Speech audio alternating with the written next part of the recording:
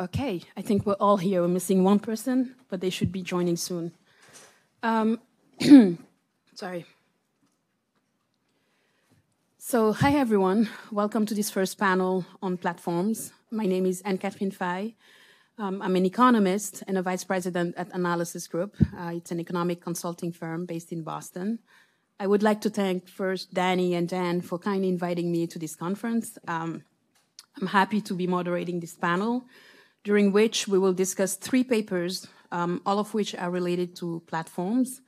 Uh, in my work, um, I regularly consult to numerous clients on antitrust matters, often involving big tech and platforms. So I'm always eager to learn about the latest research uh, on platforms. And today we'll learn more um, on the regulation of behavioral ads, um, the welfare implications stemming from the use of digital goods, and finally, the intersection of product development and fees on digital platforms.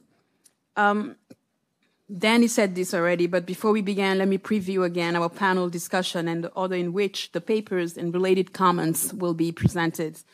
Um, so we have allocated about 30 to 35 minutes per paper. Each paper will be presented by its author, followed by two discussions, and finally we'll open the floor for questions, and we're hoping to hear from you for an engaged discussion. Um, so we had to make a few changes, uh, but in the order, but we'll switch a bit to start with our first paper titled The Digital Welfare of Nations, New Measures of Welfare Gains and Inequality, presented by Avinash from Carnegie Mellon University.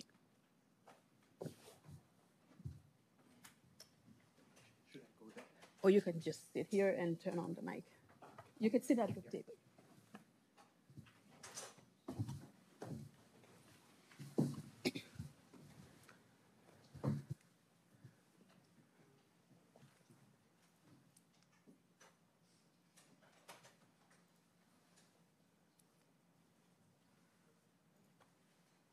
Uh, I had slides. Oh, oh yeah, yeah, great, great. Uh, thanks everyone. Uh, um, so today I'm going to present uh, some of my research on uh, measuring consumer welfare gains in the digital economy. Uh, this is joint work with uh, Erik Brynjolfsson at Stanford and several co-authors from Meta and JJ Lee also at Stanford. So this research is uh, motivated by the fact that you know we see the digital revolution all around us, except in metrics like GDP, productivity, and so on. So you know, on one hand, you have you know an explosion of free digital goods. Like most of us spend a lot of time online. You know, Google search, Google Maps, uh, and so on. Like today morning, I used Google Maps to you know find my way here.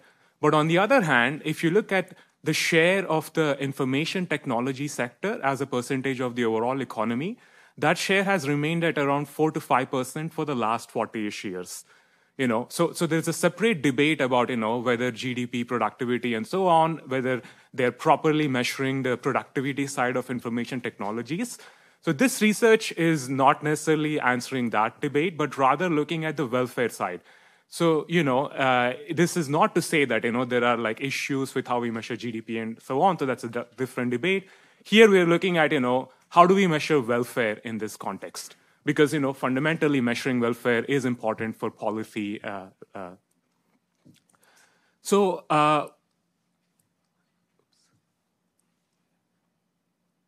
Yeah. So what do we do? So in our research, we do lots of online choice experiments to directly measure consumer welfare instead of trying to infer it from measures of production like GDP, productivity, and so on.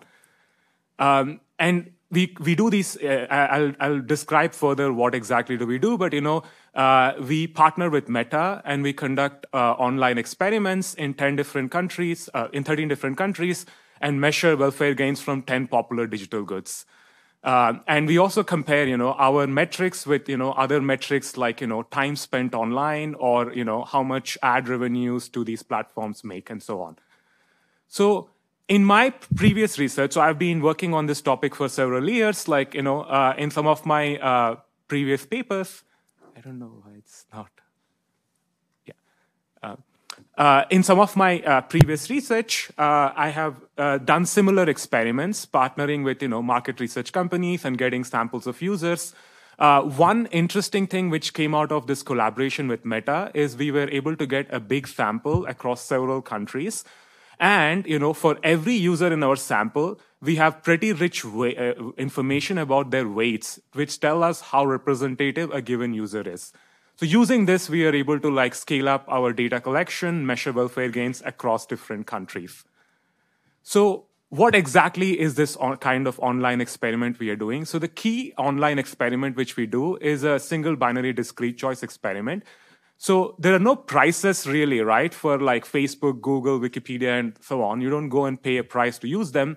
So what we instead do is, you know, we ask people, you know, like if I give you like five dollars, you know, would you stop using a certain good for a one month or so on? Would you accept this offer or not? So doing these sorts of experiments lets us quantify, you know, uh, come up with an estimate for consumer welfare gains. And the price which we offer to different users is randomized across different users. And then when you aggregate data from all of these respondents, we can end up with demand curves. And we can do this with an incentive compatible design. So, you know, this is not just a simple survey question, but in some cases, we randomly select some of these users and offer them real cash, you know, if and only if they stop using a certain product. So this is what we do with Facebook. So we partner with Facebook, you know, uh, try to measure how much do we have to pay someone so that they stop using Facebook for a month. You know, so take it or leave it offer.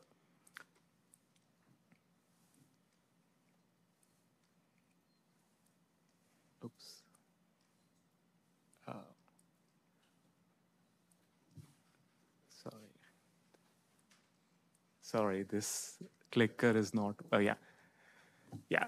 Uh, yeah, so we measure valuation of Facebook. So we randomly offer people prices ranging from $5 to $100. Uh, there is a 1 in 50 chance of getting selected. So if you're selected, then, you know, and you say you'll go, you're going to give up Facebook for, let's say, 20 or $30, then we give them that contract, you know, okay, your time starts now. At the end of the month, once we verify that you have actually stopped using Facebook, you will get, you know, uh, cash in return. So this is how we, this is the method we use to measure valuation of Facebook. And because we partner with Facebook, you know, we can ensure that, you know, uh, if someone stops using Facebook, you know, we uh, actually can check whether they have stopped using Facebook or not, and they get the monetary compensation if and only if they, they comply with the uh, choice they select. Sorry. Uh, yeah, yeah, you can do next slide.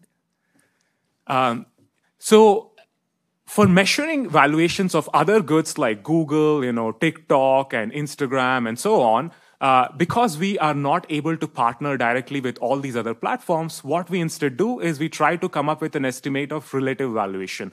So we ask people to, let's say, make choices, you know, so if you could only, you know, pick uh, if you could only use Google or Facebook, you know, which one would you prefer? Or if you could only use Amazon or WhatsApp, you know, which one would you prefer? So making such pairwise comparisons lets us estimate relative valuations of these goods. And because we had, you know, uh, the dollar amount for valuation of Facebook and relative valuations of other kinds of goods, we can use these uh, numbers to come up with dollar estimates for like other apps, including Google, TikTok, and so on.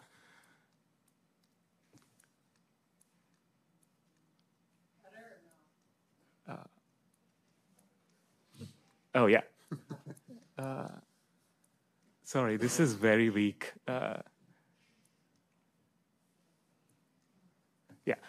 So uh, this is what we do. So we measure valuation of Facebook and uh, 10 other popular goods, digital goods. So, you know, Google search, uh, you know, in the social media space, Facebook, Twitter, Instagram, Snapchat, and TikTok, uh, and WhatsApp, Google Maps, uh, and, and Amazon and YouTube. Um, so let me show you some results now.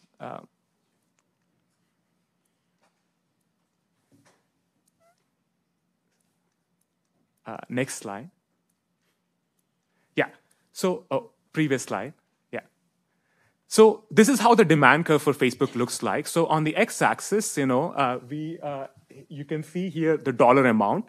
On the y-axis, it's the percentage of people who choose to reject the dollar amount and, you know, continue to use Facebook. So as we keep on increasing the dollar amount, you know, more and more people switch from keeping access to Facebook to giving it up in exchange for cash. So around, you know, looking at the results, like around 19% have valuation of less than $5. Around 24% seem to have valuation of over $100. And, you know, there is a lot of uh, heterogeneity in these results. Uh,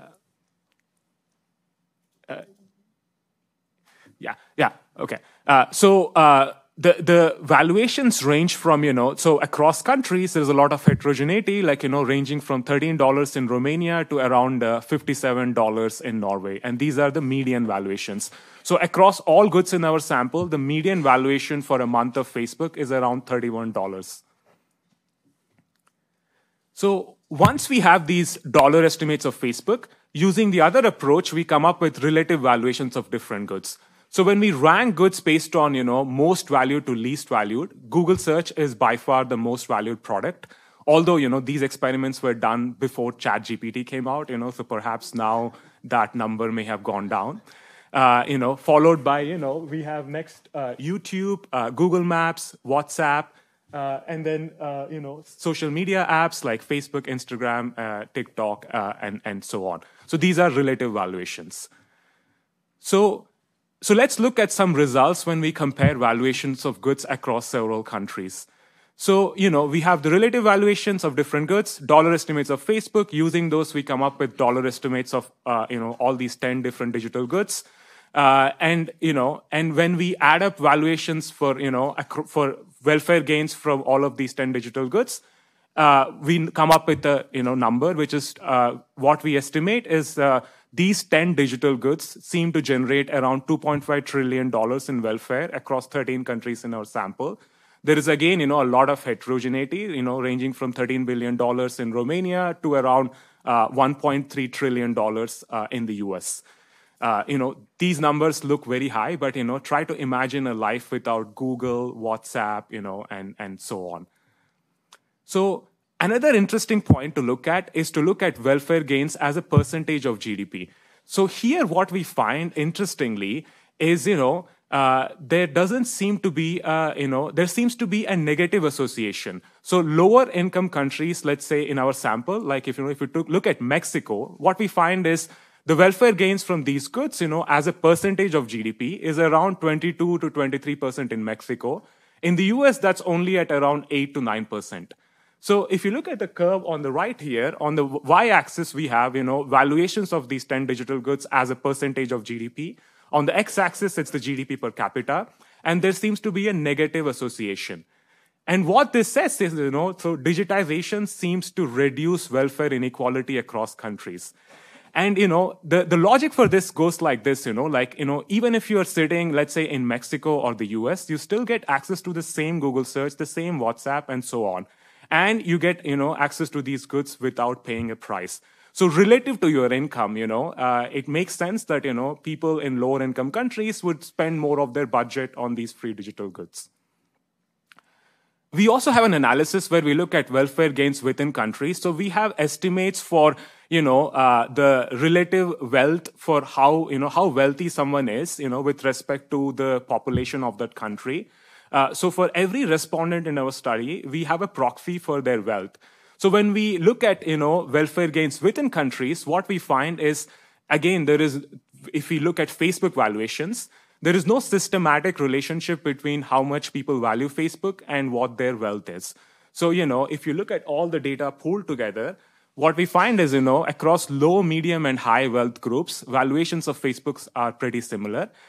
And, you know, combined, you know, what these two things seem to say is, you know, like, uh, digital, digital goods seem to reduce welfare inequality. And again, you know, the logic basically is, you know, like no matter what your wealth is, you know, you get access to the same quality of Google search. It's not like if you're a billionaire, you get a better performing Google search, you still get access to the same Google search. And just to illustrate this example, you know, like we have like Elon Musk, for example, complaining about ads on YouTube, you know, like even though he's Elon, you know, and worth $100 billion, he still sees ads on YouTube just like, you know, all, of us. Um, A final analysis which we do is comparing our estimates of consumer welfare with other metrics like time spent online and how much ad revenues do these goods generate to these platforms. So here we only look at Facebook because that's where we have data on time spent and ad revenues. So very quickly to summarize, what we find is, you know, uh, if we look at you know how much consumer welfare people get versus how much time they spend on Facebook and split our data into low, medium, and high time spent tercile groups, what we find is if you go from the low uh, time spent to the high time spent group, time spent increases like significantly, almost by eight times uh, or 12 times, but the valuation of Facebook only seems to increase by around two times. And similarly, you know, with, uh, when we compare consumer welfare with ad revenues, we find a similar relationship here. So, you know, the, the ad revenue seems to increase, increase much more slower compared to how much people value different, uh, value Facebook. And, you know, the, the takeaway here is, you know, that time spent and ad revenue are measuring, uh, uh, you know, something which is different uh, from what we are capturing in our consumer welfare metric. So of course, there are lots of limitations with this analysis. So here we are only looking at, you know, the benefit side, you know. Uh, there are also lots of ways in which, you know, uh, there could be potential negative externalities like, you know, impact on happiness, productivity, misinformation, polarization. Uh, there's also new research coming out which shows that, you know, these valuations may reflect irrational choices because you may end up with uh, you know, uh, in a collective trap where, uh, you know, individually you may want to be part of these platforms, but you'd prefer a world where no one had access to these platforms and so on.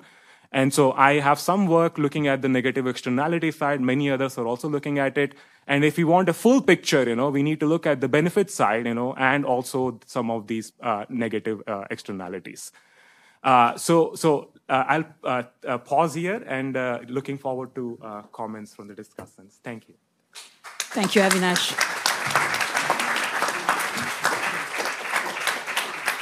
Our first discussant is Christopher from NYU. All right, thanks. Uh, and thanks for having me. I guess I should, uh, or can I, I can advance. Good. Uh, I should, I should do some very brief uh, uh, disclosure here. Uh, I have my only consulting client in the last five years has been the policy office of the FTC, and they didn't listen to a word I said anyway. so take that for, for what you will. Uh, I should also mention my sister uh, works for Facebook. Uh, before that, we don't talk that much. Uh, I don't even know that she likes me. She mostly just sends me pictures of my niece. Uh, so hopefully, I don't get her fired for anything I'm about to say. Uh, great. Okay, good. So let me just remind you why this is kind of a hard problem for economists, right? And so, what we would like to do, right? And I'm going to yeah, what we would like to do is know the area underneath the demand curve above the price that's paid here. Right? Now, one challenge is the price that are paid for these goods are zero. So it's just all the area underneath the demand curve. That part is pretty straightforward.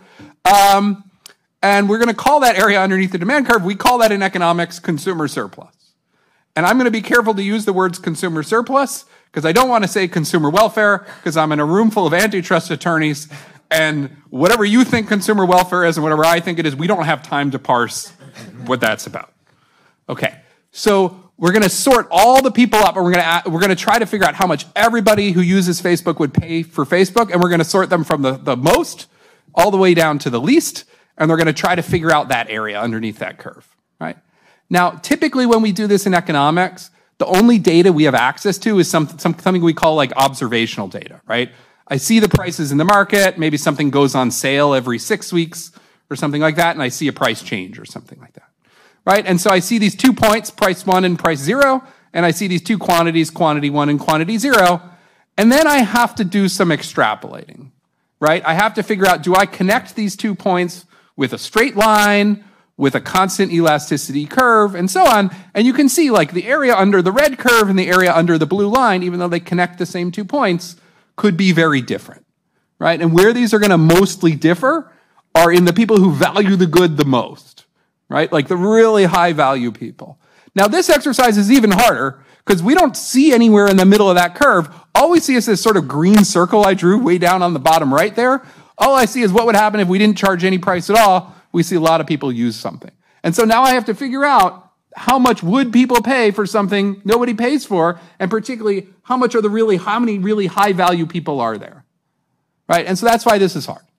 And so there aren't a lot of good options, but we've explored some of the not so good options in the past, some by, you know, uh, Brynjolfsson and other co-authors, uh, looking at exactly this question. So you can go out and ask people, how much would you pay for this thing? But there's two problems with that. One is you have to believe they're going to tell the truth, which they may not want to do. You know, maybe it's embarrassing to say I'd pay a, you know, $400 a month to use Facebook. Uh, maybe I don't want you to find that out and then start charging me for it. Um, but the other question is, of course, like if this is something we've never had to pay for, how do they even know the right number?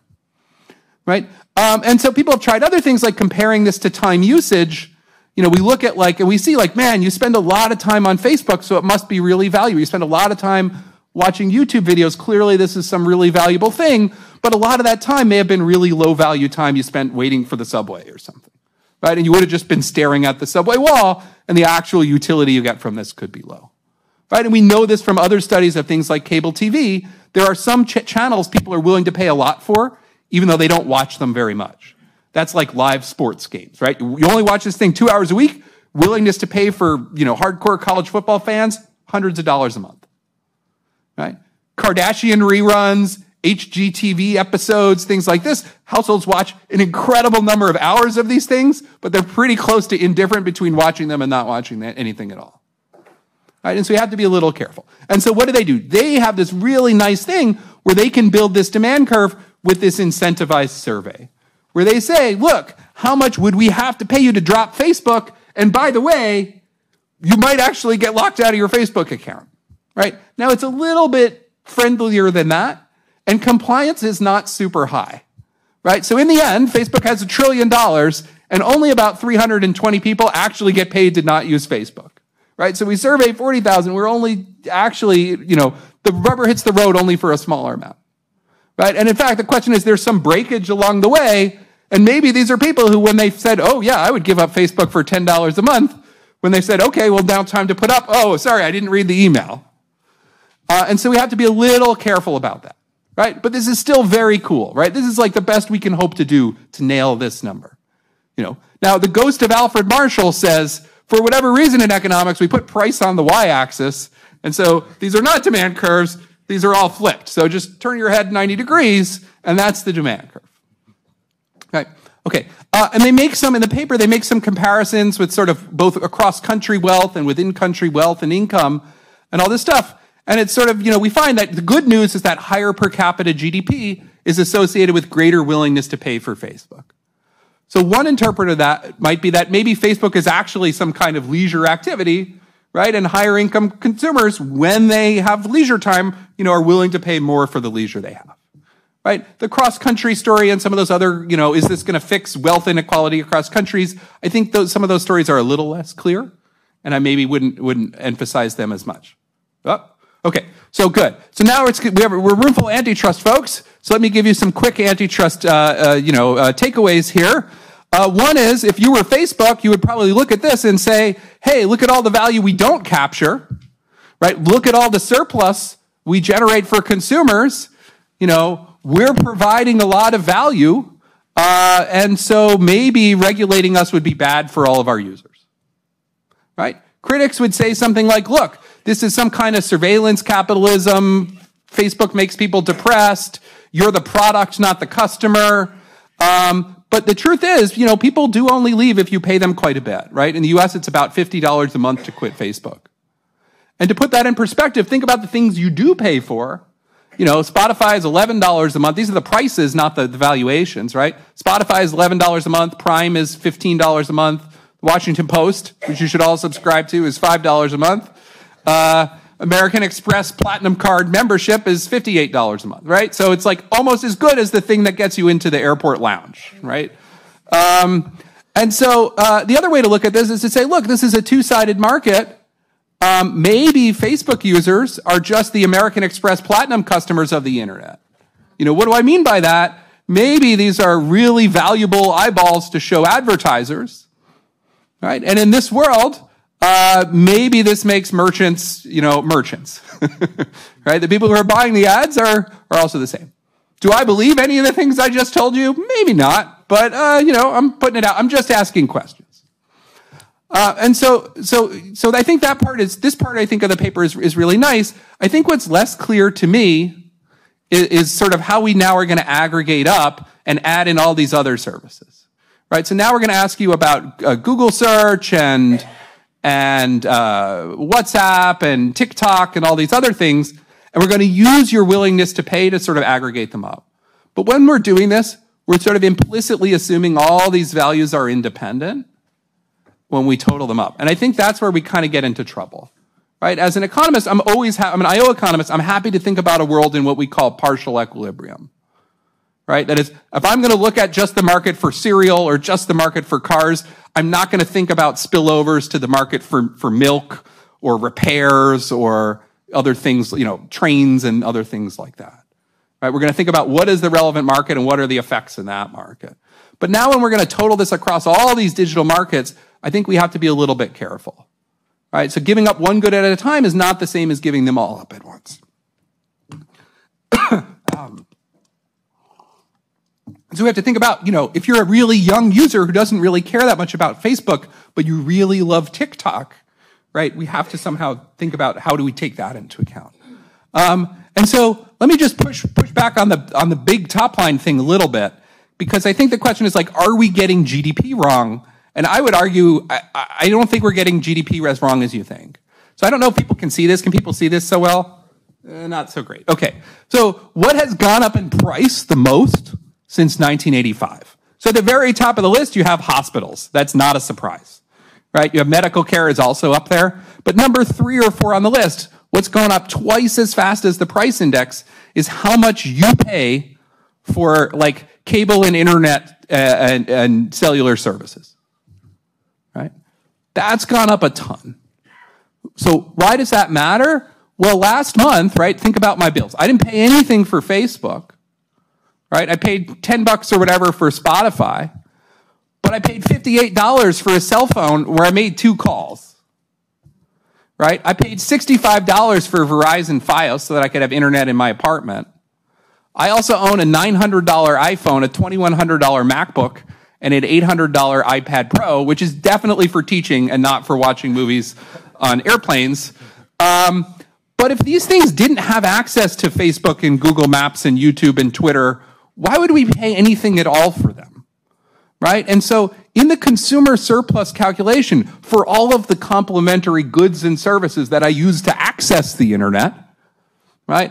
Uh, you know, whether that's Apple products or whether that's Verizon or AT&T or whoever's giving me, you know, the, the data services, you know, they're capturing a lot of that surplus too, right? And one thing we have to be careful when we go to the aggregate level, when we go to GDP, is we want to make sure we don't double count things.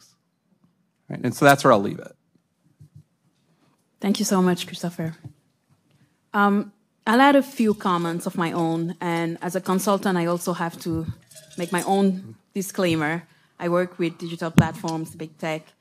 Um, but I would like to start by saying that I enjoyed reading this paper because it's truly, it's ambitious. We're talking about trillions of dollars here. But it's also highly relevant uh, for our times as we're going through a massive technological transition involving AI.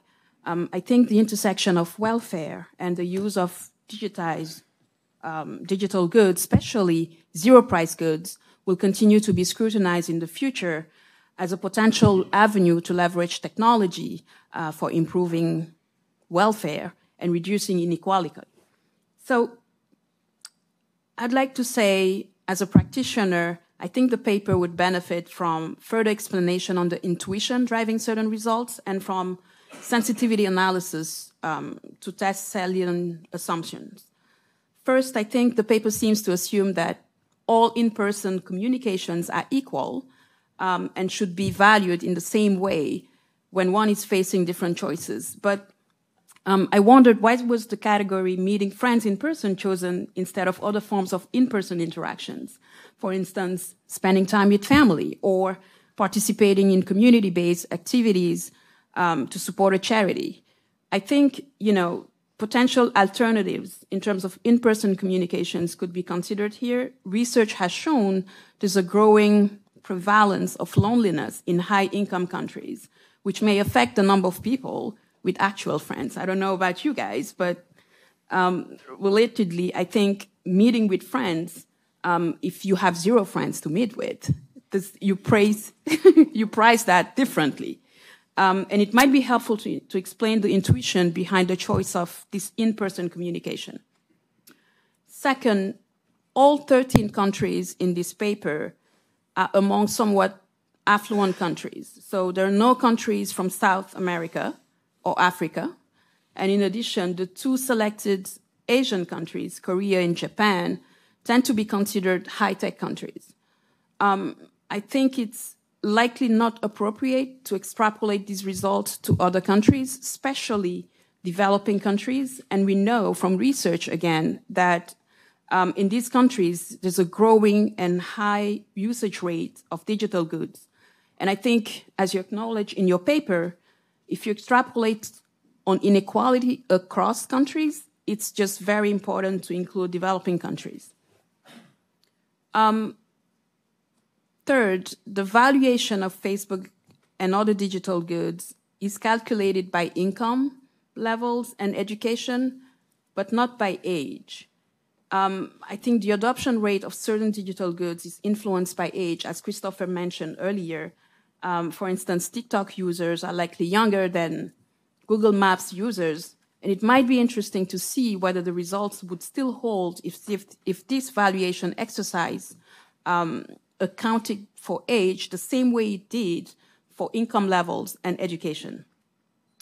And four, um, I was wondering whether the valuation would change if it was based on trade-offs against products people actually use. So the methodology was not clear to me here. Basically, as are Facebook users being asked about Snapchat, or are these Facebook users actual Snapchat users? They're currently using Snapchat. I think this distinction is really important um, because to avoid design and estimation issues, it would be interesting to run additional subsegment analysis on digital goods actually being used by Facebook users.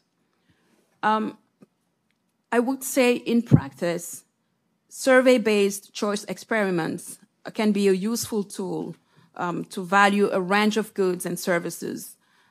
These methodologies have been generally well accepted, including in courts in the context of litigation. However, their underlying assumptions and findings have been subject to high scrutiny. And in practice, it's just really important to um, run additional sensitivity analysis to explain the intuition behind what's driving the results because bias can be easily introduced in some of these survey techniques and intricate analysis. Um, I'm stopping here in the interest of time, but I'm happy to provide additional comments separately. Any questions from the audience?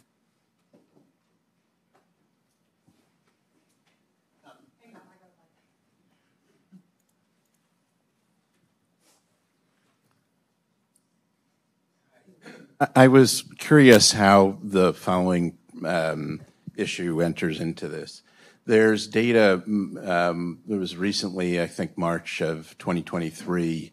Uh, University of Pennsylvania Annenberg School did a survey work on people's attitudes toward consent online and their, what their level of understanding is of what happens to their data, what's collected, how it's used and it sh it showed remarkable numbers with people's discontent and misunderstanding of what happens with their data. It seems like the valuation exercise that you're going through um, is, you know, very adept, perhaps, at catching the, you know, their view of the instant gratification that comes from using those services, but you know, it's not a free service. Um, and they don't know the costs is what the data shows that they don't know you know who's collecting their data what's happening. And um, you know the data that's out there says that they're unhappy about that um, and they think that they're harmed by that. How does um, in calculating sort of the, the the, the value here how does that information problem that the people you're asking um, for feedback, um, that they seem unable to, you know, by the studies that are out there, uh, to include, uh, to, to balance the benefits? How does that enter in, into this? And do you think that um, the overall value to people and economies would be vastly overstated potentially because that may not be included? Yeah, uh, that's a great question. So you're uh, exactly right. Like the valuations would depend on awareness about how the data is used and all that.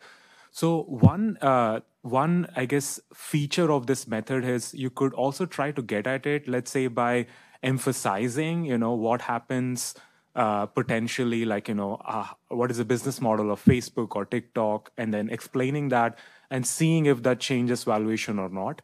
So in this project, uh, we don't do that, but I have other work where uh, I, you know, we inform people about what happens with your data, like potentially data breaches or the revenue these platforms make from your data and so on. And that does impact valuations. So depending on the information, so people have information frictions, and if you provide some information treatments like that, that does impact valuations.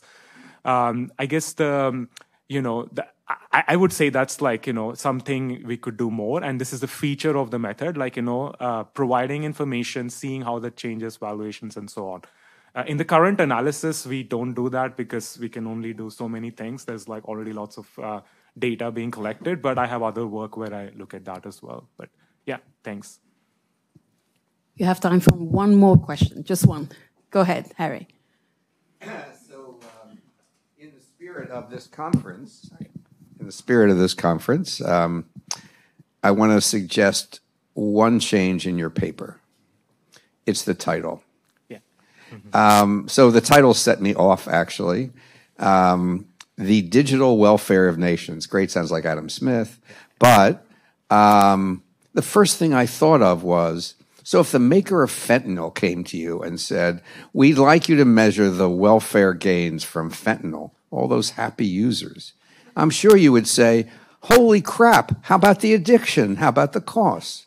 So there's been a lot of publicity about Facebook and its intentional addiction of users, particularly kids, with Instagram and Facebook.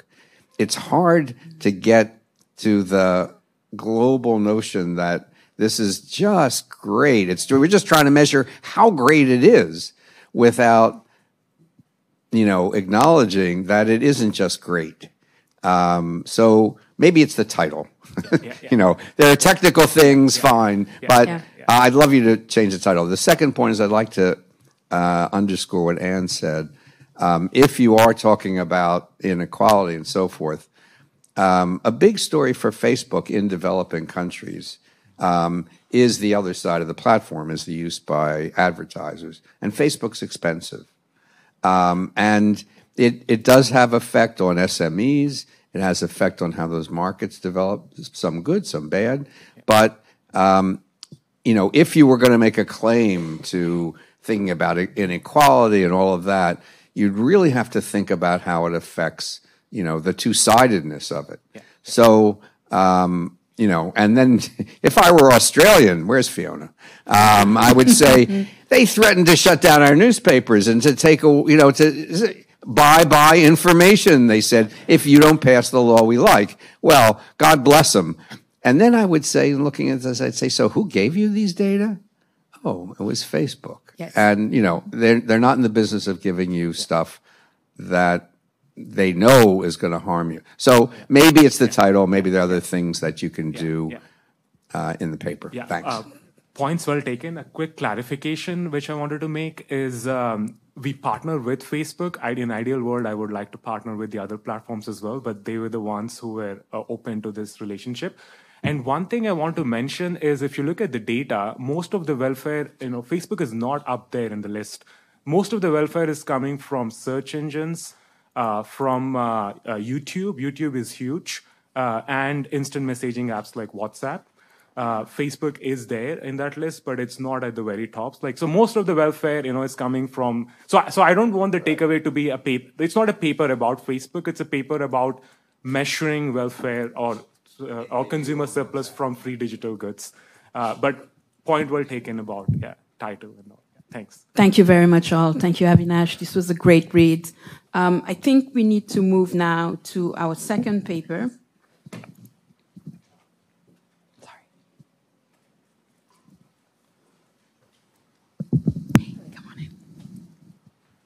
Okay, so hi everyone, good morning. So my name is Wei. I'm an assistant professor at CUNY Baruch College. And so today I'm happy to present my work on product development and platform fees design with co-author with Avi Goldfarb and Nitin Mehta at the University of Toronto. So we know that in the very last few years, there has been a, a heated discussion about the platform fees and its associated uh, in-app payment system. So originated in 1980s that digital platforms has been adopting this 30% rule where for every one dollar you make on the transaction on the digital platform, you need to pay about 30% of them to the platform itself. And this is known as the 30% tax or cut as from the developers has attracted a lot of attention and debate over whether this 30% commission fees are fair or whether the platform should allow developers to bypass the in-app payment system. And so we know from the newspapers that some of the developers, for example, like Epic, has brought up Apple and Google to the court, suing them over the practice of forcing everyone to pay 30% through the in-app, in-app payment system is unfair and anti-competitive. And actually, in just in the last few weeks, the these two cases just uh, the results just came up that Google lost uh, the lawsuit at the uh, at the district district court level, and for the and the Supreme Court refused to listen to the Epic and v Apple, and in the end, Epic has to, although it can use its own payment in-app payment system, it has to pay Apple still 27%. So while this debate still continues, one thing that we are certain is that the platform, the platform fee structure has been the center of many of these antitrust authorities around the globe. And so, for example, there are some notable regulations include the proposed open app market Act in the United States, as well as the Digital Market Act in the European Union. And some other regulations include the, the first regulation that imposes the restrictions on the platform fee structure is the Korean Telecom Communications Business Act.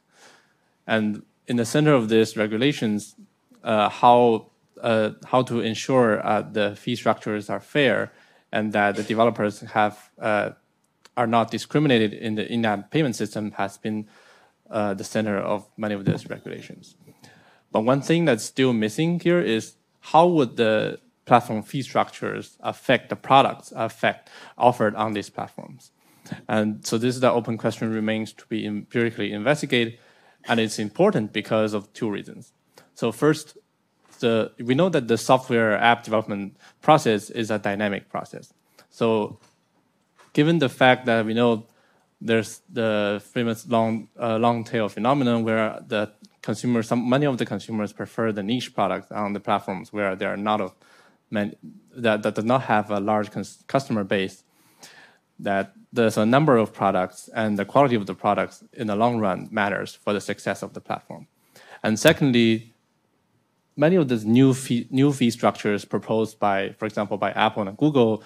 Uh, in the, like the small business program introduced by Apple in 2021 is depend on the past performance of, of the of the product. So investigating this how platform fee structure affects the product in a, in a dynamic uh, scenario is an important question. So in this paper, in this paper, we want to answer the question of how can the platform design uh, its fee structures to incentivize the innovation or the product development on the platform while ensuring its revenue. The idea is that if the platform has to reduce its fees, from, for example, like from 30% to 15%, on one hand, it lost part of the share of the pie for each transaction it incurred on the platform. But on the other hand, this will incentivize innovations in the long run so that the, the products are getting better and that new consumers will coming in, and so that the overall pie will grow larger, so to so that we can come this this can compensate the loss in the share of the pie. And to do that, we focus on a monopoly platform in the PC video game industry, and we collect the data on all the video games on this platform called Steam. So another reason that we chose this platform is that Steam is also a, very old app market. It's as old as the app, as app Store and Google Play, and it has this feature of letting the software developers to continuing uh, finishing polishing their product until they can fully re release it. And so we adopt a different set of strategies to uh, understand and characterize the, the developers' decisions. So first, because we don't know, we do not know what kind of product development decisions they are making. So we employ the state-of-the-art pre-trained language models to on the news an announcements of all of these softwares to to predict whether this app development process is uh, a major feature update or let's say a minor bug fixes. And based on these characterizations, we construct and estimate a structure model of dynamic dynamic games of like so that in each period a developer will decide whether to produce a major update or a minor bug fixes and they can and or they can decide that they can finish and fully release the product to the market. And the key part of this paper is that in, in kind of given this models estimated with the cost parameters in the counterfactual analysis we want to examine let's say if this monopoly platform is reducing its platform commissions how would that affect innovation and the overall platform revenue? So the key findings we are as follows. So in the motivating evidence sec section, we, what we find is that there's a positive correlation between the product development decisions and the sales and the, its reputation, meaning that if the, developers are indeed making improvements to their existing products, the consumers will respond with like more purchases and better reviews. And on the other hand, in terms of the decision product de development decisions themselves, what we find is that different type of these development decisions are substitutes, meaning that if you are producing a major feature update in the last period, you are uh, less uh, you are less likely to produce a, a minor bug fixes and so, and in the counterfactual simulations, if when we are thinking about uh, whether reducing the platform fees will incentivize innovation, the answer is yes. So, reducing the platform fees certainly guarantees more income for the developers, and they will respond by producing more product updates, which is good for their own product. But does that mean that this this uh, the new demand resulting from the innovation would compensate the loss for the share of the pie in reducing the platform fees? The answer is no. So what we found is that this new this new increase in demand is still small compared to the reduction of the share. So that for the platform, it may not be optimal for them to just linearly reducing the platform fee for all the products. Thank you so much, Wei. Mm -hmm. Um, our first discussant is Kinshuk from Columbia Business School.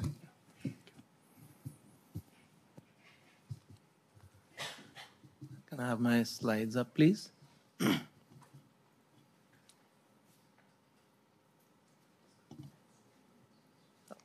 Oh, all right. Great. Thanks.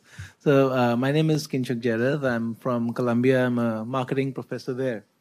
So um, happy to be here. Uh, let me uh, give an overview of the paper. I really, really enjoyed uh, reading the paper. Uh, the question, right? So what is the question in the paper? I've returned back and keep looking at my slides, but basically, how, I think the main question um, is how do commission rates impact behavior of developers on an app platform? And so that's sort of the high level question. The relevance is unquestioned, right? We saw example. I mean, we all know about it here in this room, and we also obviously motivated very well. So there's no no arguing or discussion about that. It's very very important question. And so, what is the approach? the approach is uh, taking data from Steam, which is one of the biggest uh, gaming platforms, right? And uh, they use uh, the authors use uh, cool ma uh, machine learning techniques to sort of classify different updates, which are really behavior of, um, of, of the developers, right? That's how they characterize behavior. That how much effort do you put in improving the product? right? And then uh, along with that is uh, some econometrics. It's also very nice. Uh, and uh, given all of that, uh, what they find is the following. I think the sort of the high level takeaway would be that uh, that that lowering commissions will lead to more effort uh, by app developers in improving their products. Uh, at the same time, the platform will is not so good for the platform because that increase in demand from improving the product is not so much and doesn't really compensate for the decrease in sort of the what the revenue you make from the commission. Right, so I think at a high level, this is how we can think about the paper. I really enjoyed reading it. Um, you know, very enlightening in many many different ways. So let me offer some uh, thoughts on the paper. So, so, let me start with the methodology a little bit. There's a lot of text here on the slides. Um, but really, uh, what's happening here is that to increase, to understand the role of commissions, you know, which is the, sort of the main question, what we would ideally need is vary, varying exogenous variation in commission rates, right? That if you if it was different, what would be happening? Now we don't have that, and there's no hope of having any reasonable uh, data around that, right? So the next best thing would be okay, maybe it varies a little bit, maybe not exogenously, maybe not randomly, but it does vary, right? Even that we don't have, at least in this data, we don't have. Maybe we have it across platforms, we don't have it, right? So, so then what is the approach? How do we understand the role of commissions? And at a, again, at a very high level, uh, my understanding of the paper is that uh, what the authors do is that they build a model of uh, developer behavior and you know of sort of demand and supply and they uh, calibrate this using data on, on from Steam. Right? And one of the things that the authors say that helps them is this fact that there is this uh, program called the EAP program, Early Access Program, uh, and then it's launched on the main site. Right? So, what is the Early Access Program? The Early Access Program is really giving developers an opportunity to uh, work on their uh, on their app, on their game, while not being exposed to all the consumers, right? So being exposed to only a subset, so they feel sort of more free, you know, to to understand uh, what is working and what all do they need to do.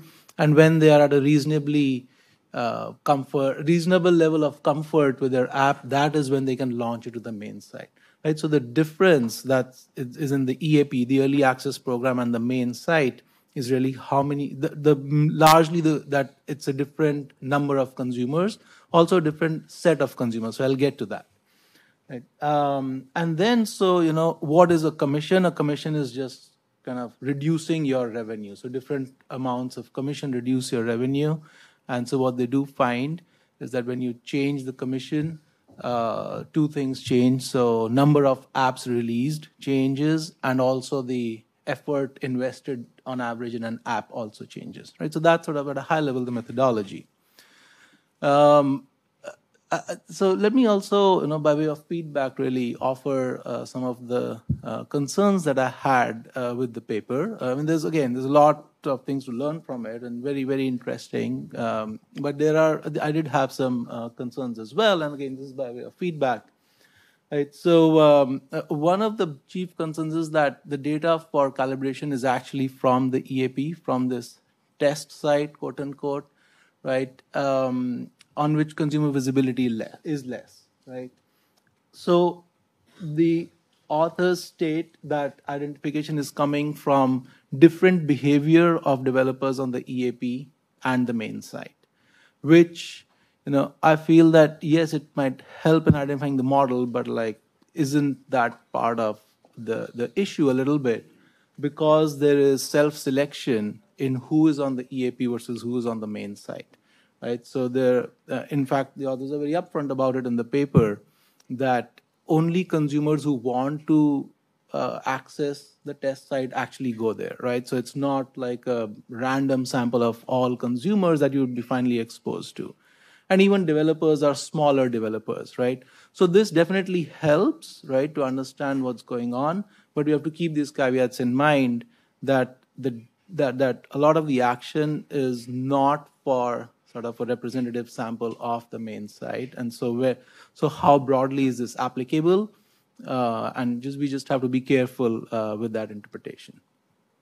And uh, a couple of some specific things, right? So one of the very interesting parts of the paper was the counterfactuals, where the authors are changing commission rate, right? And there is a, a table there. So what you can say is that 30% is the baseline commission rate, right? And uh, then there are percentage changes relative to the baseline. If you look at the lower part, the lower half of this, say that how do different types of behavior change when commission rates are different. So all the way to 0%, which is no commission, 12%, which is you know some common somewhere, 20, and then 40. So some few below 30 and one below 40, right?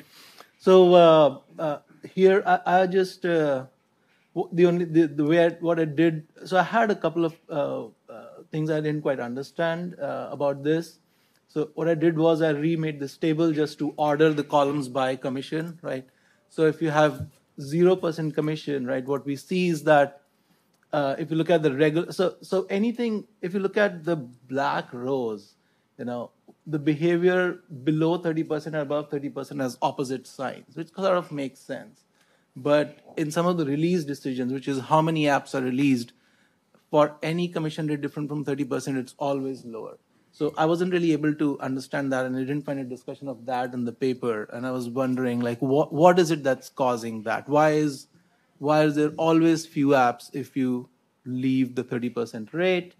And also the a certain kind of updates.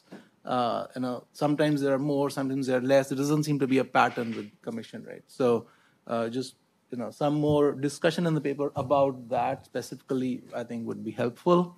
This is very sort of uh, specific feedback. And uh, then on last slide, I think one could think of that, um, you know, what is a good commission rate for the developer? So let's say it's something between 0% and 100% you have to be set. Well, 100% is no good and nobody's going to make anything.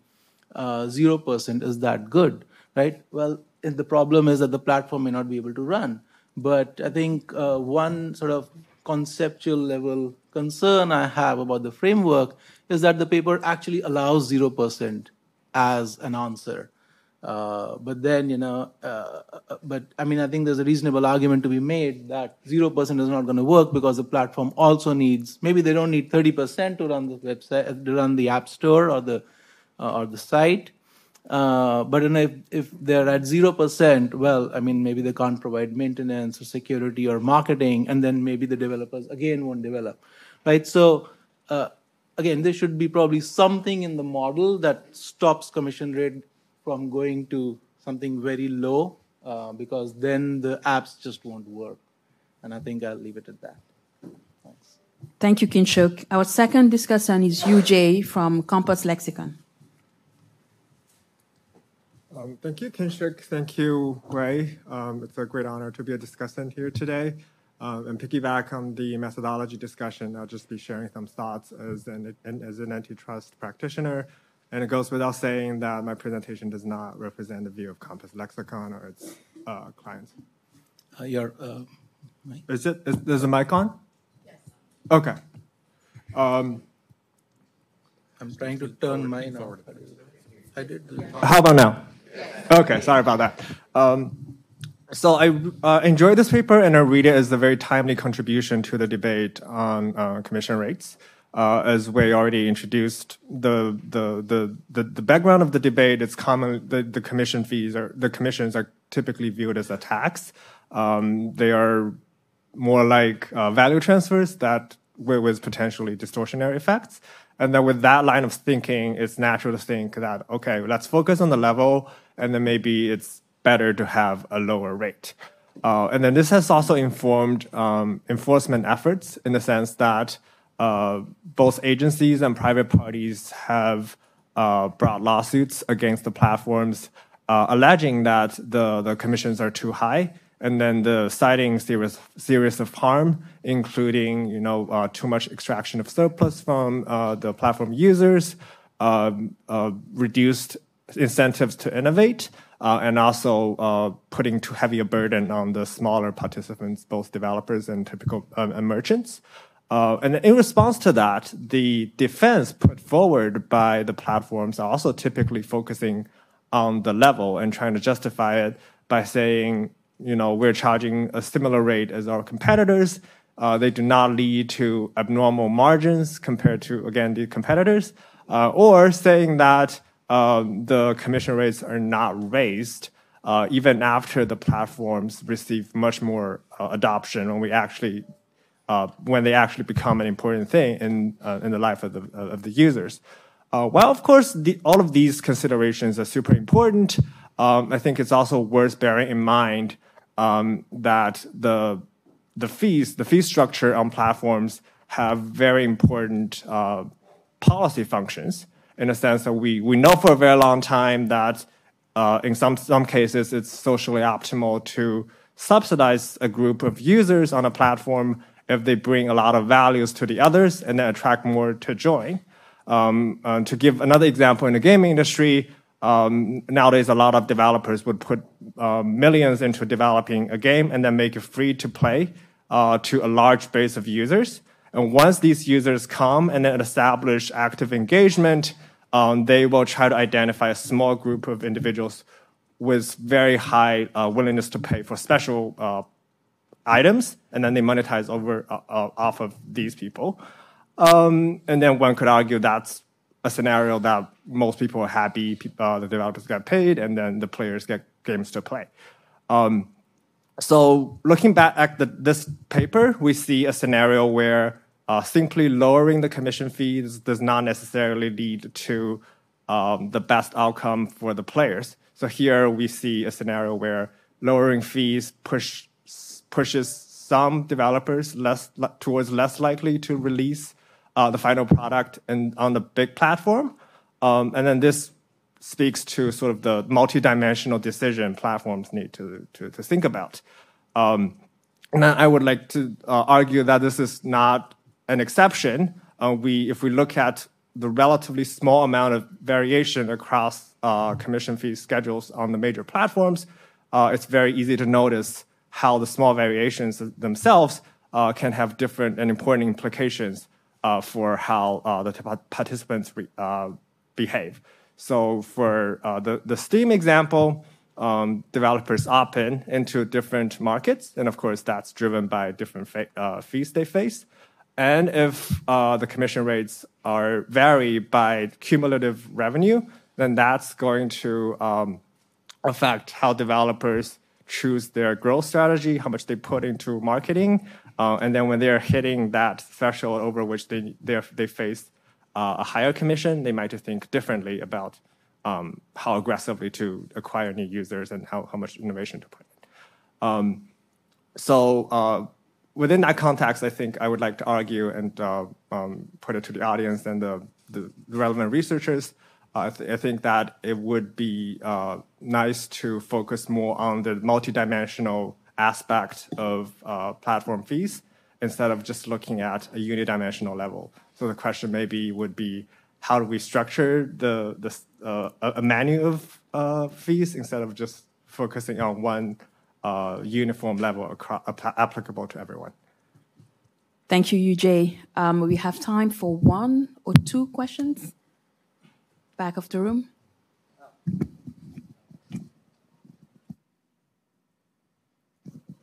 Yeah, I guess I was just very curious about the methodology that was used specifically with the use of Steam, uh, because of how unique Steam is in terms of its platform compared to other platforms like Epic Games, for example, wherein you have uh, aspects where developers have um, access to uh, the gamification of the platform. So the use of trading cards that are associated with the game that are outside of the actual game, or backgrounds that you could use for a person's uh, profile uh, that are just associated with that game. And I, I, was just curious in terms of like this dimension that we, uh, or the the the fee structures that exist there. I was wondering, are there other factors that might make Steam a little unique in which developers are willing to pay a lot more in terms of like the fees that they are on that platform compared to uninnovative platforms like Epic, where all you're doing is just launching a game and that's pretty much it. So I was just curious to see if maybe there might be a little look into see how different uh, that fee variable is compared to platforms that have these innovative features that are outside of the actual video game that developers are playing versus uh, or the developers are creating as opposed to just putting it on other um, uh, platforms like EA or Blizzard or um, Epic? Yeah, thanks for the question. So yeah, so I agree that there for some games there are other kind of like in-game uh, outside the game features that can have some like like a trading market that can create additional value for cons- consumers. So uh, in this paper, we're focusing on games in early access or the public beta testing program. Is the main the, the main reasons that these products. Uh, their their main source of revenue is just by selling the product itself. It does not have uh, the downloadable content. It does not have that much trading cards and stuff like that. And the reason that we chose Steam is that Steam is one of the market that had that's more more similar to App Store and Google Play because it has this reputation system. It has this regular update uh, for uh, options for the product. Whereas for platforms like EA EA Play or Epic Games, there's simply there's no consumers' participation in terms of the reputation or stuff like that. So it's more like a storefront. But for Steam, it's more like a two-sided platform. That's yeah, that's the reason we chose that. Thank you. One last question.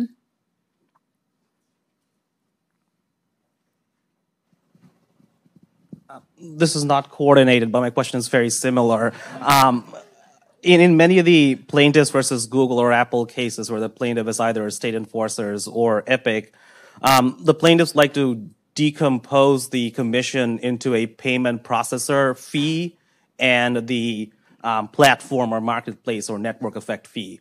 And they'll say, well, the payment processor fee is comparable to a uh, donut shop uh, using Stripe or um, Square to process payments. They charge about 3% per transaction. So the actual charge or the cost of processing the credit card payment is about 3%, give or take. The other fee, the 27, the additional 27% then should be attributed to the value that the network or the platform provides.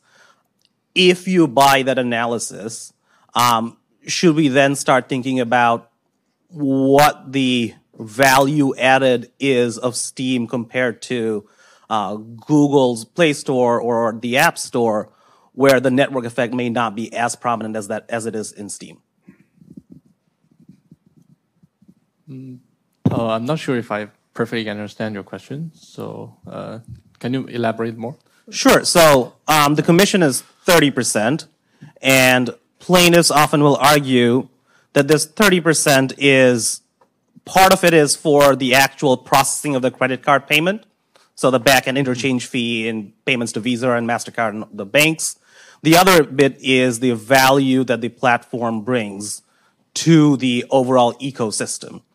And the argument plaintiffs will make is, well, you can use Square or Stripe or any of the other mainstream um, payment processing platforms that you can use to process credit card payment. I have a Square um, Square Squares um, that I just got for free because it seemed cool. They charge about three percent every time I swipe a credit card.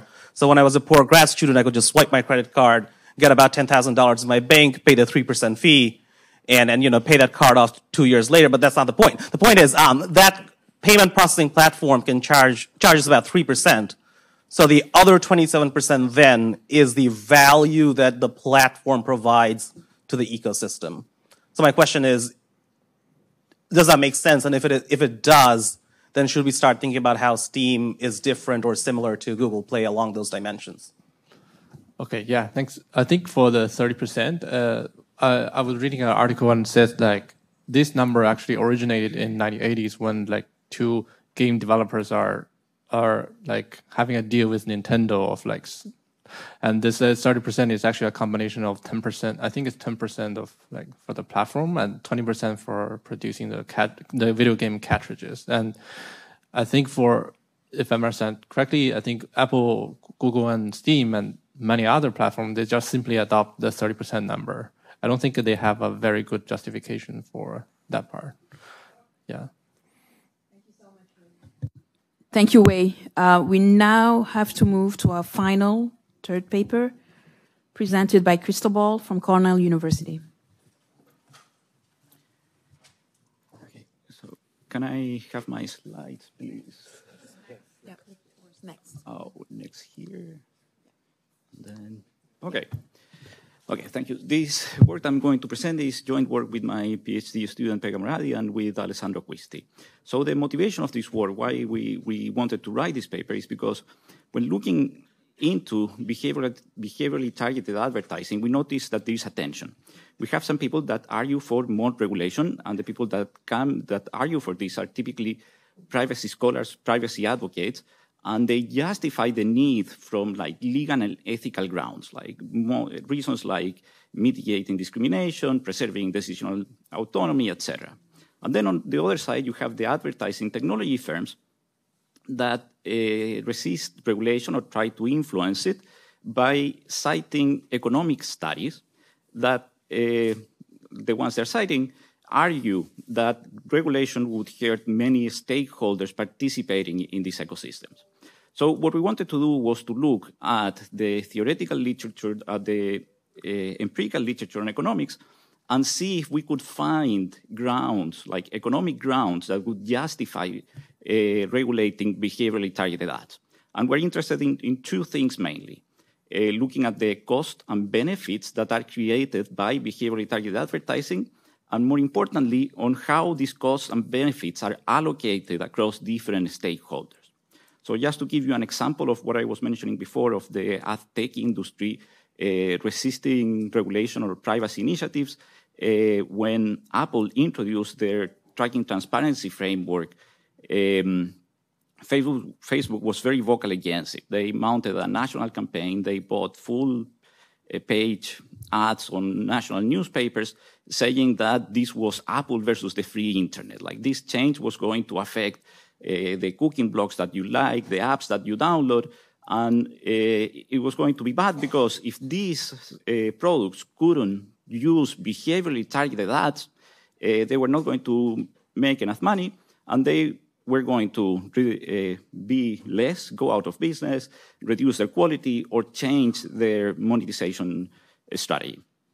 So with co-authors, as a side note, with co-authors, we actually investigated this claim after ATT was introduced in the Apple app ecosystem.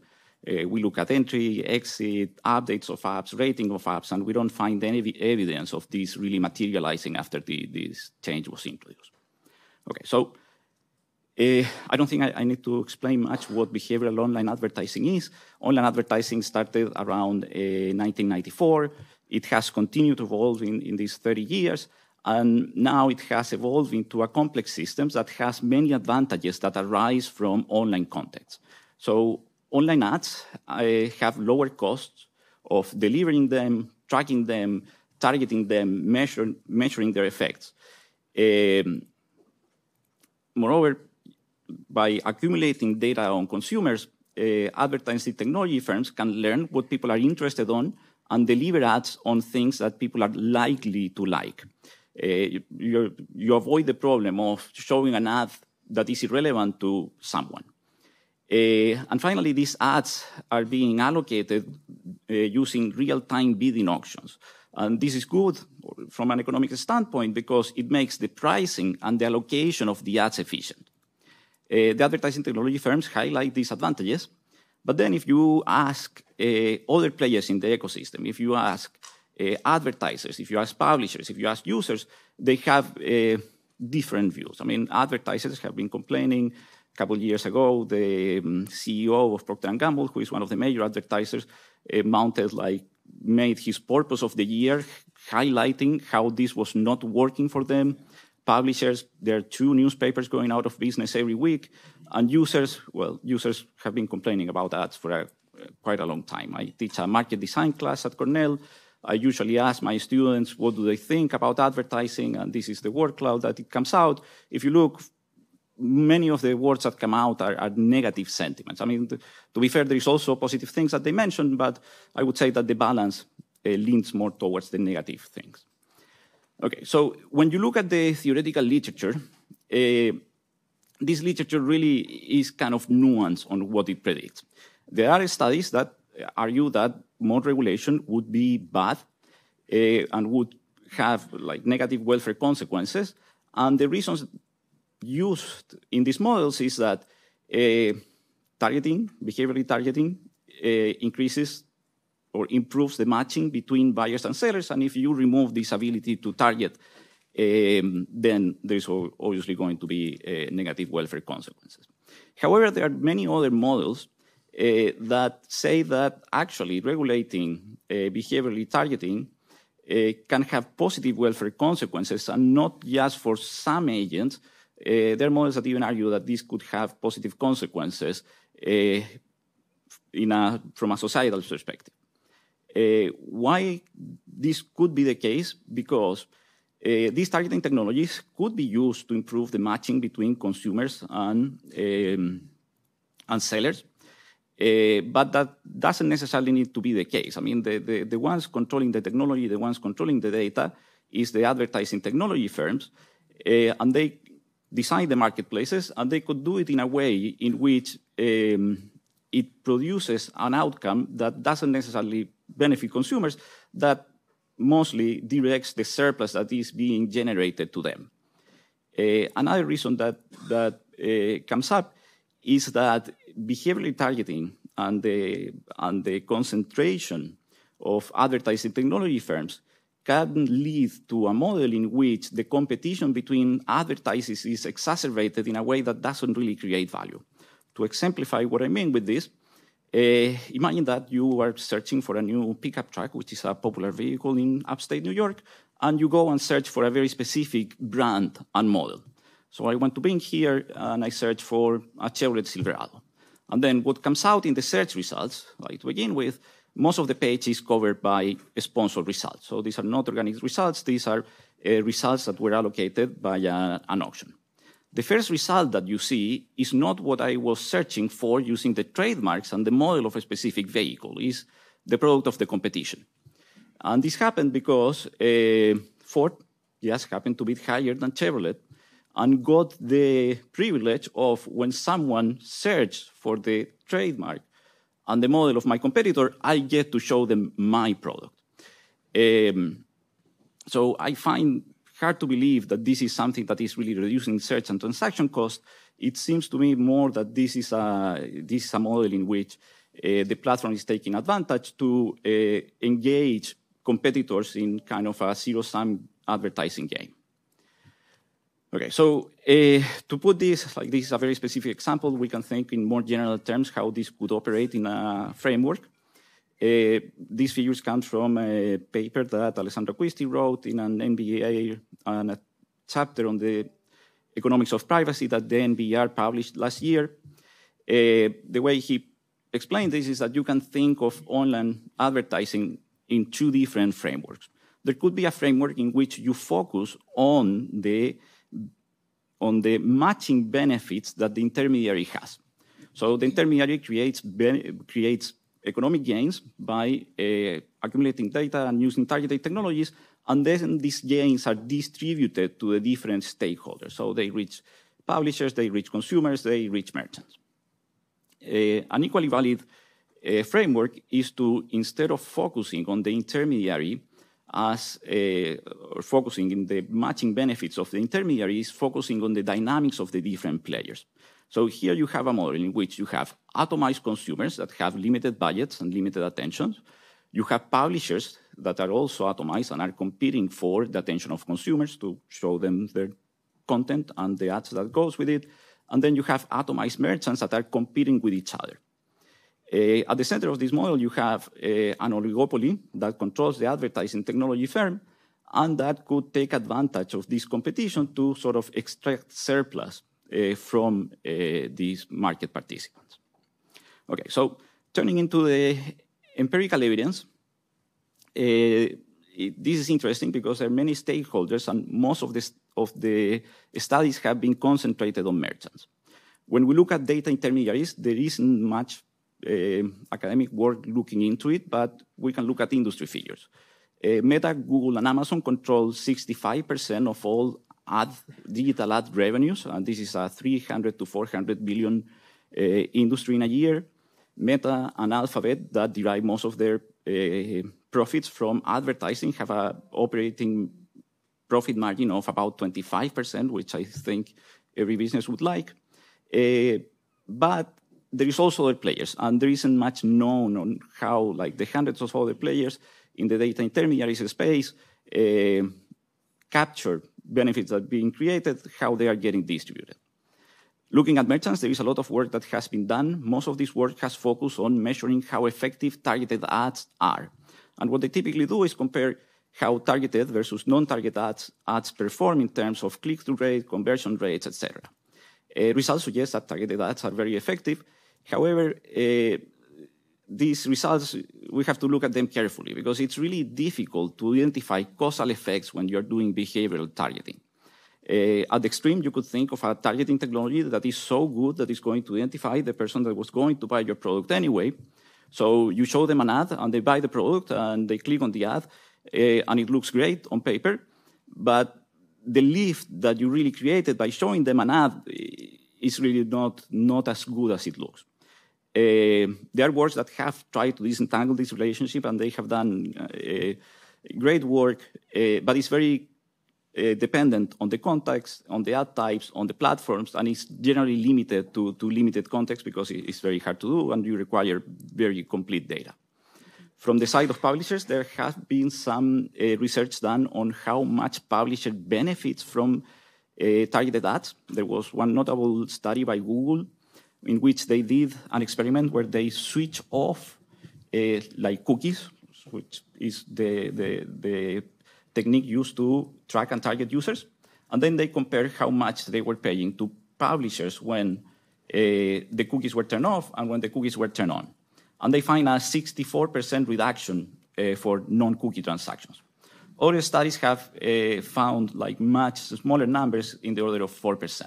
So the issues with these studies is, is sort of is sort of a partial versus uh, is a partial equilibrium story. In the case of Google, what they are really measuring is how much they pay for a targeted versus an untargeted ad. That doesn't mean that in a world with privacy regulation, all the advertising revenues are going to go down by 64%. The publisher uh, could use other uh, exchanges, they could use other targeting technologies such as contextual targeting or uh, targeting technologies that are less invasive, uh, and these, those figures would probably not hold up.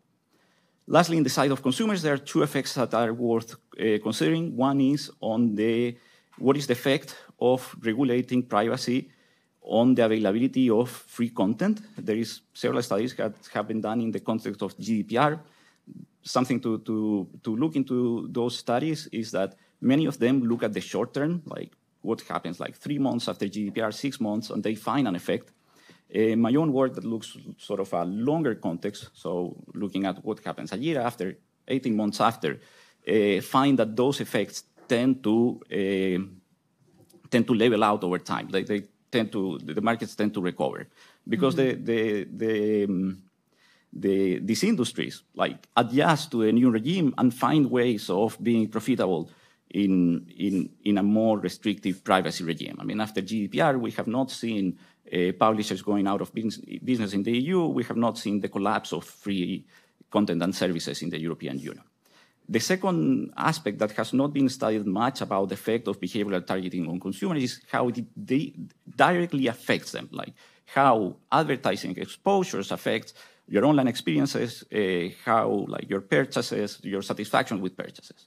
Uh, with one of my PhD students, we just finished a study in which we do something uh, similar to what Avi presented in other contexts. The difference is that we ask uh, them to stop using their ad blocker or to start using an ad blocker and we find very significant effects of that intervention on their online experiences, in their satisfaction and regret with recent purchases, and even in their subjective well-being. Okay, so in the interest of time, I'm going to end here. Thank, Thank you, Cristobal. Um, our first discussion is Ginger from the University of Maryland. Yes, thanks so much for having me. Um, slides, please. You have to click next. Oh, I have to click next. Okay. Yeah, um, thanks so much for giving me opportunity to uh, read this uh, interesting review paper. And let me summarize that a little bit first. Um, so um, I think it asks a great question. It's what's the welfare um, effects of behavioral ads, taking all stakeholders into account? I think that's kind of a common question for this panel, but I think it's, it's good to put that question uh, at front of center. Um, it also contrasts two views. The industry was thinking, okay, we're talking about a win-win-win-win situation for consumers, for publishers, for merchants, for the intermediaries, while um, others, uh, especially lawyers in like um, people's rights or other areas would argue that individuals' liberty, um, equity, or autonomy might be harmed by this um, widespread data collection.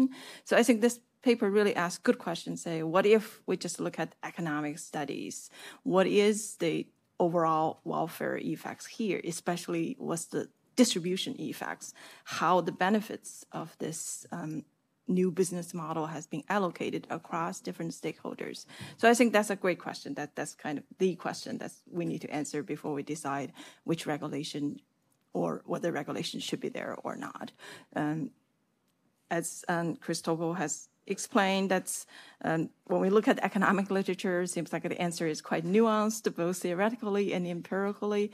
They also identify a lot of research gap in this area. So I would encourage all of you to read their paper carefully to maybe you can know where your next project is. I also appreciate they have a list of potential solutions to the problem.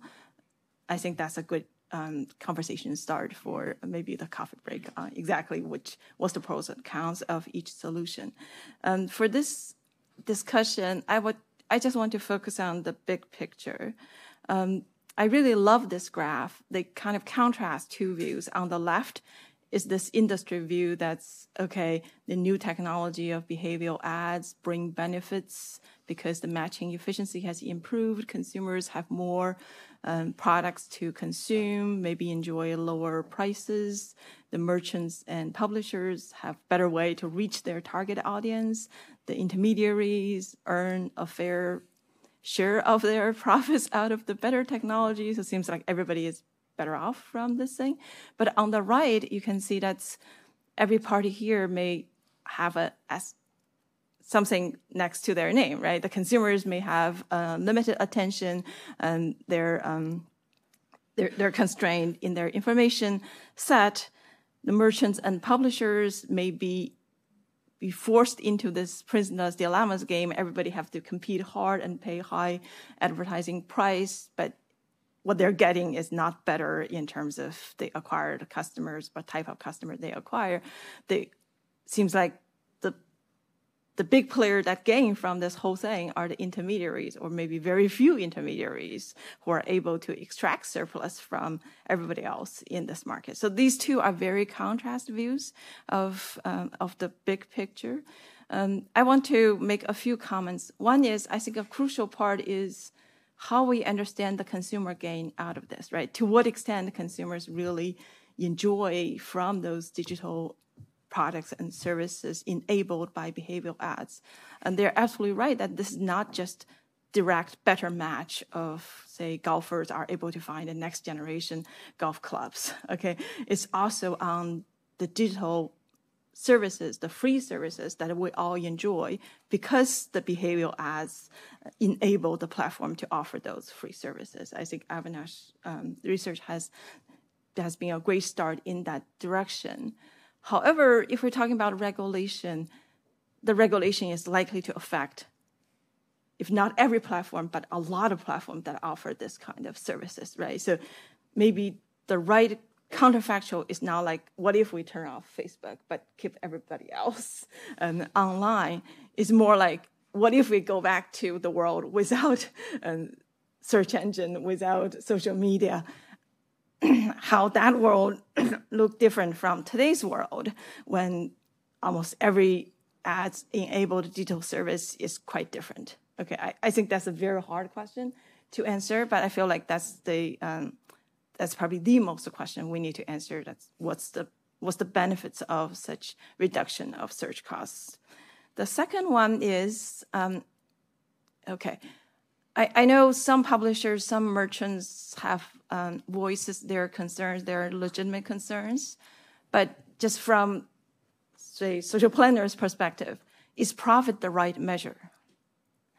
Should we also consider, say, for example, consumers may benefit from this, say, through lower price or more products, even though the publisher and merchant's profits had gone down and maybe close to zero or even below zero. Okay, so that, that's one question. Um, another one is um, I think we probably want to consider both the old and the new players here. It's concerning that newspapers, traditional newspapers, has been exiting the market at a very um, very uh, high speed. But at the same time, we also see new content providers come up, right? If you look at the number of musics, it has tripled from 2000 to 2008. I'm talking about digital music, okay? If you ask how many uh, new videos are up every day on YouTube, that's like 3.7 million, okay, per day. Okay, the kind of content enabled by such digital behavioral advertising I think that has to be considered as well as we um, thinking about the exit rate of traditional media such as newspapers and TVs and other things. Okay, so that's on the um, publisher and merchant side. And finally, on the um, the intermediaries, I, I, know a lot of intermediaries such as Google and Facebook. Their profit rate seems pretty high. They really enjoy a lot of profits out of this and we're all concerned about the concentration in this industry. But I think a deeper question we have to ask is what drives that concentration? Is that because Google or Facebook or other platforms has been engaging in certain monopolization acts. Let's say they set up artificial barriers to entry so that competitors cannot come in. Okay, or maybe they somehow trick the users to give away their data without sort of full knowledge of exactly what they're giving away. And I think these are the hard questions antitrust agencies and consumer protection agencies are looking at, and they should be uh, looking into. Um, however, I think there are also other explanations such as maybe it's more efficient to do the advertising this way because digitally we can have better idea of who is wanting what and what will be defining the better match value. Um, so I, I, think that efficiency part, which at least in my mind should be considered. That's to what extent is the efficiency driving the concentration? Maybe there is a value for Google or Facebook to know everybody everything so that the matching will be much more um, easy to do and valuable than having segmented newspapers or, or other traditional intermediaries. So I, mean, I, I, think these are just the two sides sort of juggle in my mind while I'm reading um, the paper. Um, next, I want to ask um, questions like, I mean, if we're thinking about regulation, what is the goal of regulation? It's when I read the paper, I got the feeling that okay, maybe we're only allowing Pareto improvement means that somebody is better off without anybody else worse off. Okay, are we saying that we only want to go for such an improvement if the improvement is Pareto? And even that, it seems not obvious to me because somebody may lose out of this, right? Let's say inefficient merchants or publishers or intermediaries may exit the market and become worse off in this new world. So this is not Pareto improvement from their perspective, right? So do we want to kind of avoid that outcome as well? So that, that's just one question. Um, another one is, okay, I, I got the point that we need concern about the distributional effect, but I want to push it a little further. What distributional effect are good enough for us to say, okay, that's good enough there's no need for regulation. Okay, and um, maybe all of us would agree that if the distributional effect is such that we only have one or two intermediaries earning huge profit and everybody else is worse off, and that's not desirable. That sounds like a monopoly. But what if say, okay, intermediaries earning a lot of profit, consumers are getting positive on the net, okay, but merchants and publishers, some are positive, some are negative. How we trade off that distribution? Is that distribution non-desirable enough that we need some regulation, right? This seems like a continuum spectrum there where we're going to draw the line to say this is a good distribution effect versus not so good distributional effect. And, and finally, I, I think, I mean, what's the objective function, right? To put all these together. This may be cliche here. Are we talking about consumer welfare final consumer welfare or consumer welfare, including advertiser as the consumer of the ad market, for example, and or um, total welfare that we sum up welfare of everybody, or we put some guardrail that's everybody should be subject to not too much worse off while we're maximizing those welfare. I, I think that's that's um, I, I, think that's still the hard question. Uh, I have a few other comments if I have time. Um, the first is the paper seems to give some example, um, such as okay, previously maybe some merchants happily advertising in a golf magazine, they catch the target audience of golfers for golf related merchandise. But now with behavioral advertising, you have all kinds of people try to sell something to those golfers because those golfers may also um, want to buy, um, say, um, some some good digital gets or uh, want to travel, right? You get all kinds of mer- merchants try to advertise, target this kind of golfer. So they end up competing with each other. They raise the price a lot, but the matching is not necessarily better just because we have all kinds of people um, competing for that. And it seems like there might be easy solutions. Say, what if we combining the behavioral advertising plus context advertising? Maybe today's matching rate targeting accuracy is not so good, but are we on the road towards a perfect matching so that when we arrive there, it actually will be absolutely better? Um, so, so I don't know um, how to think about that as compared to the example they have. On the consumer um, trade-off, I feel like it's true that if we survey people over 70, 80, 90% people say they hate the ads, they wish the data was collected less. However, that's sort of not to me, that's not the right survey question. The survey question is, okay, what if you need to pay for something in order to be free of ads, to be free of data collection? How much are you willing to pay? It seems like not many people are willing to pay a lot um, for that, right? So, so implicitly, it's all of our choice to enable this kind of behavioral advertising and maybe opaque data collection. And I mean, definitely there are room to improve, is that because the consumers are making this choice based on some uninformed setting, can we improve their uh, information choice? Is the choice sort of limited because lack of competition? How can we enlarge that choice so that um, people can make informed and meaningful and better choice? Um, but I see sometimes, I would say, uh, concerning conversation like, okay, the consumers may not be the right body to making this choice because maybe the regulators knows better. Okay, let's input a regulation so that um, the regulator can make a better choice and everybody would be better off. Um, I would be a little um, hesitant to go in that direction because we all know that's political economy and regulator agencies probably would not guarantee that regulator will be the social planner in our textbook. So we have to consider and um, consider that. Uh, I think they have mentioned a little bit that's maybe the industry can. Sorry to interrupt, Ginger, just in a few oh, seconds. Oh, okay, yes, yeah. Um, well, I would just put there that maybe industry can do some self-regulation. To some extent, we already see Apple offering some products seems to be more privacy savvy. Okay, so is that a potential market solution without a regulation? And I will end on the final note that's I know that's um, we have the concern that's okay. Seems like there are enough danger. We should do something about it. So that's the risk of little action.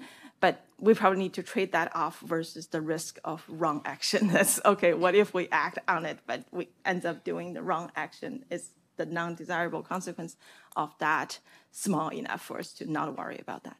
I will end here. Thank you, Gigi. Um, Yujie, what's your practitioner perspective on this paper? Very quickly, sorry. Uh, very quickly? Yes. Um, okay, I guess my main takeaway is that um, this paper presents a great summary of the empirical literature and how, challenge, uh, how challenging it is to fully capture the to, to fully measure the effects of uh, information sharing, and that's partly due to uh, the sort of the ephemeral nature of data as a valuable uh, product. It's something that I personally have struggled a lot as a PhD student. Whenever I present a theory paper, people would ask, "What's your empirical evidence for that?" It's really hard to find something that's comprehensive. Uh, I think that's probably going to stay that way uh, for, for example, the, the zero price problem. Um, Chris already introduced, and for various other issues that the panel have very masterfully discussed. Um, and I think as someone who has uh, gained more access as I work in the private sector, um, I think uh, a valuable channel of engagement would be try to push for more uh, transparency uh, on the platform who has a very intrinsic interest of showing their value um, and using whatever data that's available at, the, at their disposal.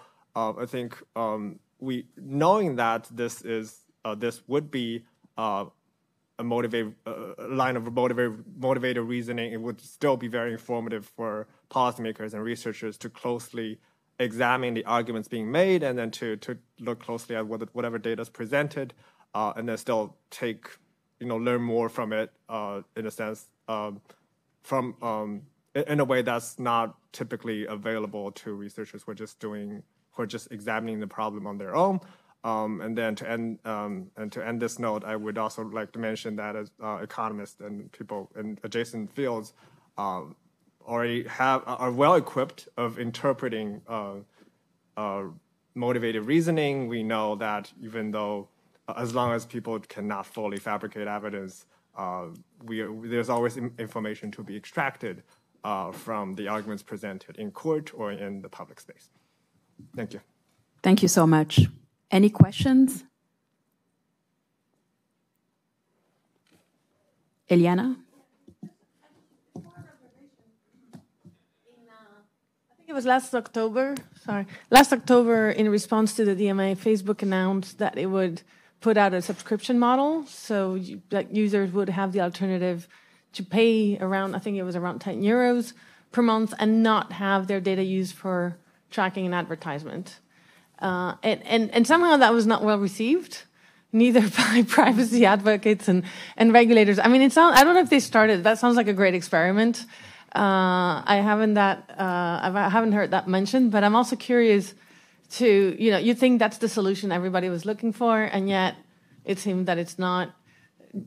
What is it that we're looking for? And that may be a question for mm -hmm. Cristobal. So, so yeah, I mean, that is a great example uh, because I think it, it, really exemplifies like this, this argument that the industry has been making. I, I think that what Facebook did is very disingenuous because they didn't say you can opt out of tracking if you pay. They portrayed this as we serve you behaviorally targeted ads or no ads at all. And that is not really the problem. The problem is the privacy issue.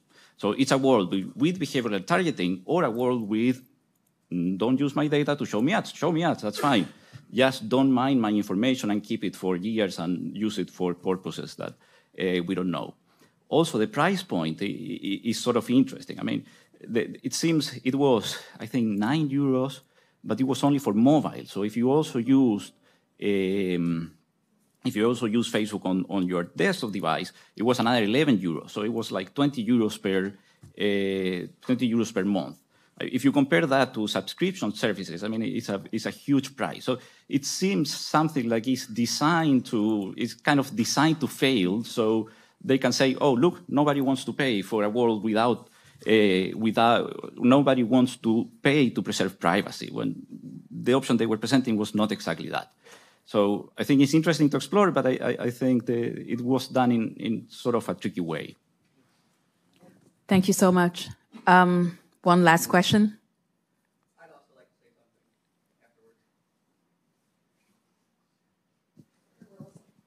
Right here.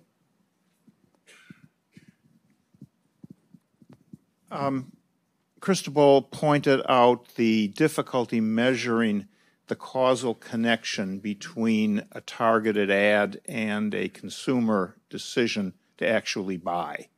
And, and that reminded me, and it's been a long time since I've looked at this, but um, before the internet, a common refrain that you would hear in the advertising industry was something like, half my advertising budget is wasted, but I don't know which half.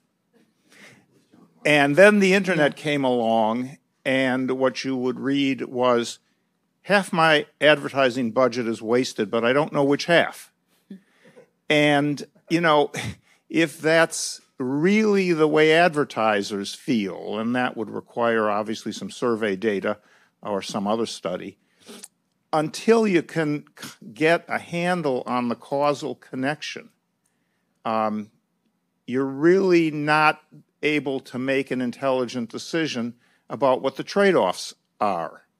And I guess if I were a researcher, unfortunately I'm not, I'd, I'd, be looking at that and I'd be looking for whatever insights you could get from um, behavioral economics, uh, which is developing, of course, um, to get at the non rationality of the rational man. Thank you. One last comment before we go to break. So Google's obviously been thinking about this problem for quite some time, and just within the last two or three weeks, they've actually announced what they're going to do moving forward. It's something called protective, protected audiences, and what it essentially does is it allows you to, on your device, do the advertising. So you're more or less taken, you're broken down when you visit a website. It asks if you would be willing to be put into an interest group for the website, and then when you visit other websites, it pretty much takes your knowledge of that and is limited to the number of groups that you have. So you might have only three groups at a time, and your device actually does the ad auction on it. So that's what Google just announced that they're going to do moving forward. Can I comment one quick thing on that? Of course, quickly. Yeah, I mean that, that, that's an interesting that's an interesting solution, and I think it highlights another issue that I think it's kind of thorny. Uh, what is the problem with behavioral advertising? Is it a data security problem or is it a privacy problem? If it is a data, so the, the, what Google is suggesting is, sol is solving the data security problem. So my data is no longer to be, is going to be attributed to my name. Nobody can go into their database and learn what websites I have visited or what are the things that I like. But the, what Google can do is essentially the same as in the past. So to put a ridiculous example, let's say that behavioral targeting can be bad because if it identifies that I like gambling, is going to, or I like heroin, is going to show me gambling and heroin ads, and that is bad for me. Like the solution that Google proposed is not solving that part of the problem. So I think it, it's, it's, I mean, I'm not saying it's bad, I think it's good, but it solves just one part of the problem. And the problem with behavioral ads is both. It's a privacy problem and it's a security problem. Thank you so much. I would like to thank my panelists for a great conversation.